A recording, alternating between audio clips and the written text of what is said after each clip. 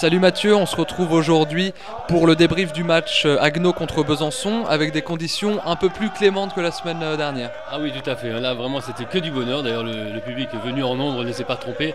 Alors, il y aura eu beaucoup, beaucoup de spectacles parce que les joueurs ainsi que le staff, euh, emmené par Nicolas Tizanet et Guillaume Krigel, voulaient qu'on développe du jeu. Hein, il était nécessaire de, ne pas se cantonner au jeu d'avant, qu'on l'a vu. Bon, bien sûr, c'est payant, évidemment. Mais là, on voit déjà avec Thomas Abbé, hein, qui avait des fourmis dans les jambières, donne le ballon à Louis Castero, le numéro 10, placé à l'ouverture, à l'absence de Kevin Fontaine. On va voir qu'il a un très très bon animateur du jeu, on va voir déplacement du jeu sur les extérieurs, les avants replacés dans les centres, les centres avec les avants en, soutien. On va voir qu'on va développer du jeu jusqu'aux extérieurs aussi, aux ailes, avec Hippolyte Breton qui va être pris.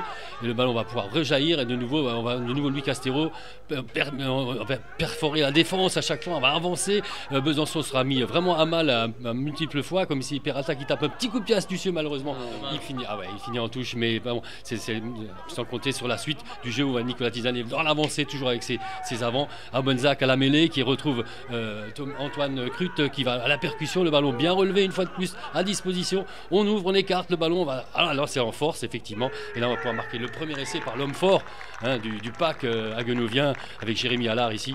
superbe conclusion suite à un bon mouvement général. On voit que effectivement des intentions sont là, hein, l'envie est là. Bien sûr, il faut remettre un petit peu euh, notre le naturel, naturel il revient au galop. Et on voit que dès que, on voit que la défense, les avants euh, au Byzantin étaient perfectibles, on en a profité pour en mettre un coup en plus et mettre un super essai en force de Thomas Abbé, qui sera l'auteur d'un doublé. Un, mec, un joueur très très très en forme actuellement, hein, il nous est revient d'une blessure passée. Et là, Hippolyte Breton, à l'absence, comme dit, de Kevin Fontaine, à la botte, impeccable, poteau du milieu, là, comme on dit, hein, puis ça, ça fait un petit boni, petit boni pour, euh, pour laisser, deux points de plus. On est bien hein, sur la feuille de route euh, de ce match qui était ciblé, un match à 5 points, un match avec bonus offensif, face à cette équipe aux abois euh, byzantine, qui vraiment là. Et on retrouve John d'ici dans les centres, qu'on connaît très très bien, qui joue à Strasbourg, qui est un, homme charmant. vous voyez ce Fidjien superbe avec des ballons toujours, toujours avancés, difficile à prendre. Il va poser beaucoup de problèmes en défense, mais voilà, euh, on saura aussi nous mettre, nous, les banderies quand il faut, et là, même mettre les provoquer à la faute. Alors, c'est nouveau Lucas Castero, fin de passe intérieure, hein, c'est sympa pour Peralta.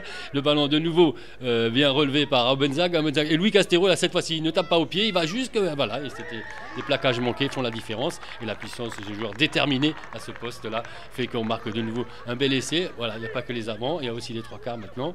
On avait, on avait ciblé, effectivement, voilà, c'est sympa. On se retrouve avec euh, la transformation d'Hippolyte Breton Breton qui marque de nouveau ses deux points de plus donc, et c'est bonifié.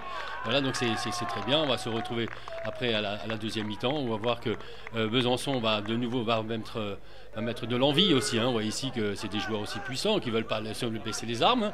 Alors voilà, on va y se mettre. Et là, malheureusement, il y a un mauvais geste. On voit ce coup de poing qui part. Et malheureusement, euh, le, la, va se venger. C'est le Lagunovien qui va ressortir. Et on va jouer donc à 14 pendant pratiquement toute la deuxième mi-temps. Mais ça ne va pas empêcher d'aller ici marqué en puissance. Hein. c'est la meilleure réponse qu'il faut donner. La meilleure réponse, c'est par le jeu. Et voilà, alors très bien laissé, impeccable. Donc Thomas Abbé, on parlait de ce doublé. Donc euh, vraiment, on, était fiers parce que l'équipe réserve s'était déjà bien, bien illustrée avant contre cette équipe. Et là, on voit que l'équipe première est en train de, remplir le contrat totalement avec ce ballon bien capté ici de nouveau. Il y avait Laurent Le Palu placé à l'arrière, le capitaine, impeccable. Hein. il, a, fait la, passe du Torero là.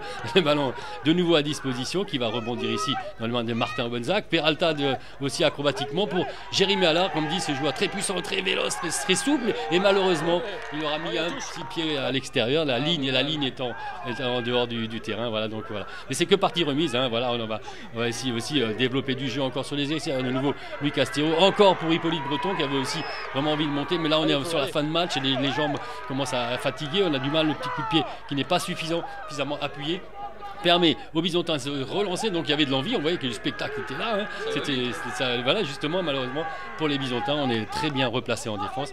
Donc c'est de nouveau sur une mêlée fermée. Martin Benzac pour euh, les Netzeba qui se fait bien plaquer. Hein. c'est un beau plaquage ici. Alors, le ballon va être à disposition et on voit que le gratteur, le plaqueur, il gratte le ballon. Donc c'est interdit de jouer au sol. Alors Thomas Abbé, qu'est-ce qu'il dit? Bah écoutez, bah, moi je vais jouer à la pénalité rapidement. Et voilà, super baissé. Voilà.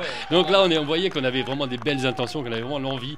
L'envie était là et, la joie, le bonheur. On voit que bon, les spectateurs venus nombreux, hein, avec de nouveaux partenaires qui sont là aussi pour le club. C'était vraiment une journée aboutie pour les aficionados du, du rugby à Guenovien. Et voici Hervé Reitz qui avait fait ses adieux l'année prochaine, qui a entendu les sirènes du rugby parce que c'est dur de rester à la maison hein, quand on est encore, encore si jeune. Donc voilà, il apporte encore son expérience. on termine sur vraiment une, liesse collective, un très très beau match. Et voilà, donc la feuille de route est là et on va rater les, les qualifications bientôt pour le championnat de France. Voilà, nous sommes avec la famille euh, euh, qui est très fière d'avoir fait deux belles prestations aujourd'hui. Il fallait donner une bonne réponse par rapport au match aller que nous avons perdu d'un point. Et là, la, belle, réponse est là. Oui, bah, d'abord on va féliciter les espoirs parce qu'ils ont fait un match parfait. Aujourd'hui, mettre un tel score, il faut quand même mettre les ingrédients, il faut avoir aussi la lucidité et la rigueur pour euh, tenir du début jusqu'à la fin du match. Donc un grand bravo à l'équipe Espoir. Félicitations à l'équipe première parce que comme vous, comme vous le dites, elle a pris aucun point. Et puis elle a su enchaîner les jeux quand il, le jeu quand il fallait, on a su jouer sur notre points forts. Ensuite, bien sûr, il y a encore quelques petites choses à travailler, à peaufiner. Mais on va dire qu'on est satisfait avec un mois de février euh, magnifique aujourd'hui pour du rugby. Et puis voilà, avec tous les jeunes, euh, beaucoup de monde autour du stade. Et puis on a fait euh, ce qu'il fallait, les 5 points, 2 matchs, 10 points, et l'essentiel est fait. Maintenant, il va falloir travailler deux semaines encore pour aller à se soigner. Merci. De rien. Bonne journée. allez, allez, allez, allez, allez.